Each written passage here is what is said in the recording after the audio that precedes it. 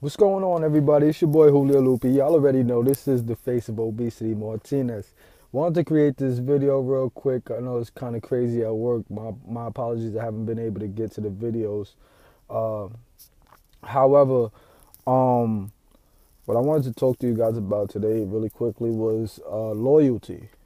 You know, uh, loyalty is you know the act of being loyal. You know, following someone who is loyal. You know what I'm saying? Be, doing what you say you're gonna do. Um, there's nothing worse than being known as someone who's not loyal. There are no unloyal people in my circle whatsoever.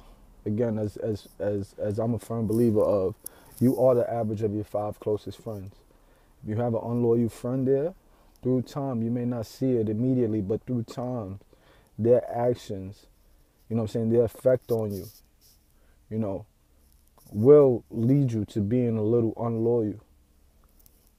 There's nothing worse than a man whose character you have to question because of their loyalty.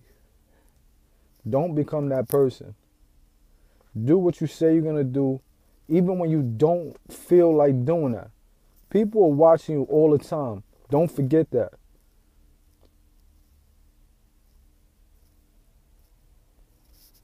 You're growing, you're building.